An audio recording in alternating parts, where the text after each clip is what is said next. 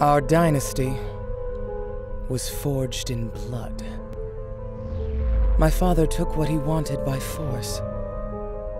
He was cruel and vindictive. Not a good man, but a great man. Infamous, hated, feared. Now he is dead. And they look to me to rule.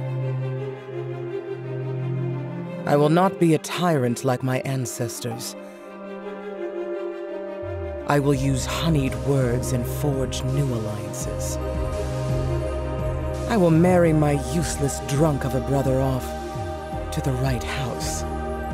My vassals will find me an honorable ruler, so long as they respect my authority.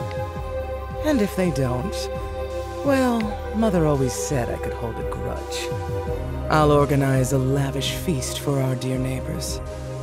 Then I'll seduce their heir. Perhaps I'll whisper some secrets to my new admirer. Scandalous, powerful secrets. The kind that could topple systems. Why kill your enemies when you can have someone else do it for you?